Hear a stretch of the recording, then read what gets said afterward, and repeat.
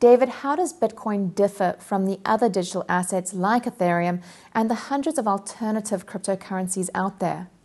So, Bitcoin is a new currency created to compete against the gold standard and fiat currencies. Ethereum is a token capable of facilitating smart contracts. So, what Bitcoin does for money, Ethereum does for contracts. Ethereum's innovation is that it allows you to write smart contracts. So, basically, any digital agreement where you can say, if this happens, then something else happens. So, let's use an example. If I vote for the president, then my vote is official and no one else can vote as me.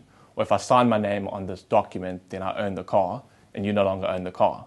So up until now, we've carried out these agreements with a signature at the bottom of a paper document.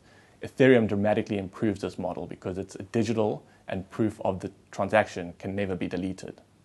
Altcoins use the same decentralized concept as Bitcoin, but take things a bit further with unique features.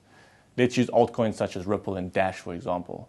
Ripple and Dash offer a fresh take on the transactability and speed of payment.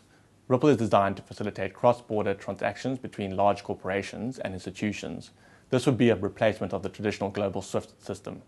Instead of waiting for days for your cross-border payment to arrive, if you sent Ripple to another user, it would be there within minutes and at a fraction of the cost that you would have paid using SWIFT.